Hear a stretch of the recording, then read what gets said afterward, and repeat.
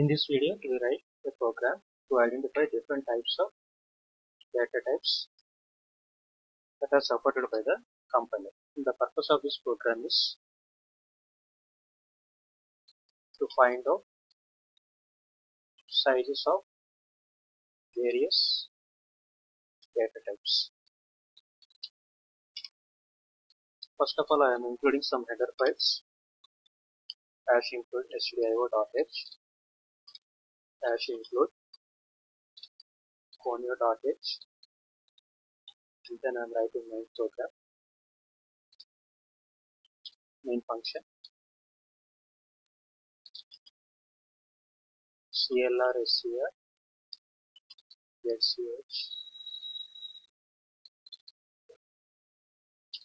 now printf. First we start with the character data type size of a signed character is equal to percentage d. In order to find out size of the data type, we need to use one operator and that operator is size of operator, size of. To this operator we need to pass the name of the data type, then it returns size of the particular data type in terms of bytes. So I am passing signed char the next one printf size of unsigned char is equal to percentage d so to output the statements in line by line i am using backslash n here boolean character.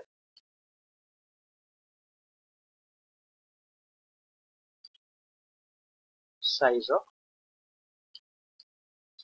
unsigned character. Now we see the output.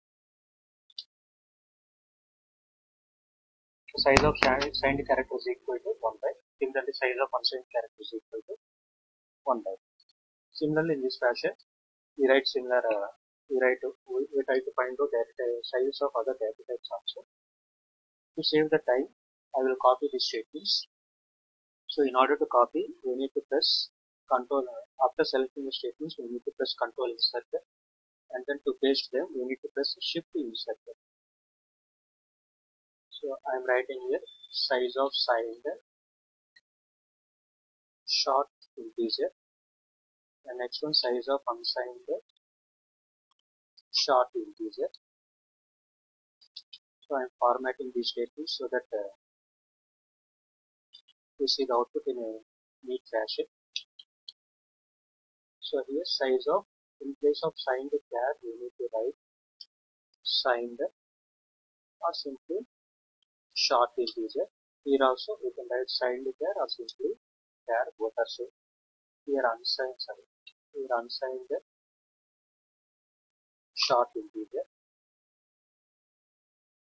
So again we see the output.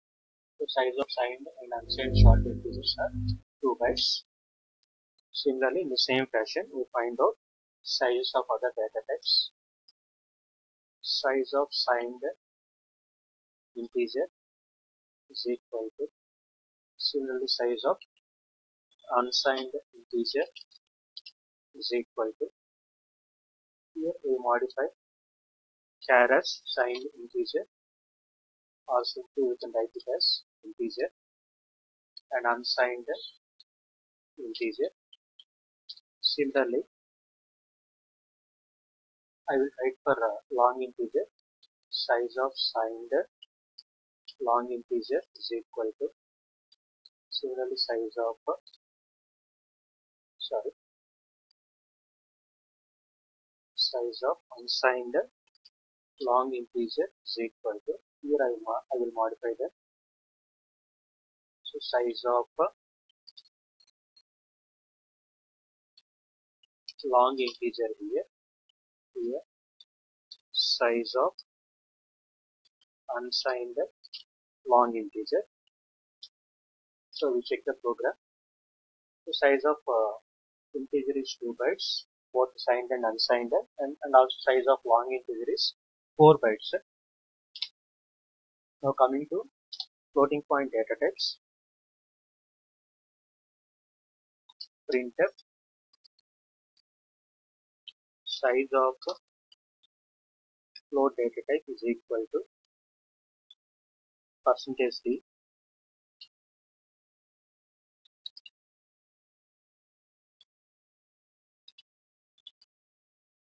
so I'm formatting them so that uh, they look in a neat fashion. The size of float is equal to size of float. Similarly, I'm copying this particular statement to copy, control insert, paste, shift insert. Here I will modify float as a double. Size of double is equal to size of double and similarly and one more last statement for long double size of long double is equal to size of long double. So we run the output here.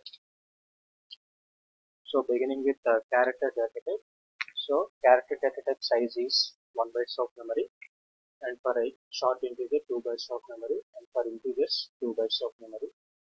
For long integers it is 4 bytes of memory and for float it is 4 bytes and for double 8 bytes and long double 10 bytes.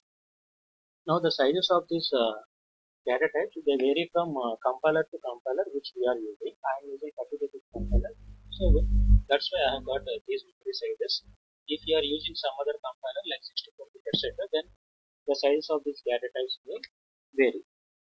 So in this fashion, we can write a program to identify the data types.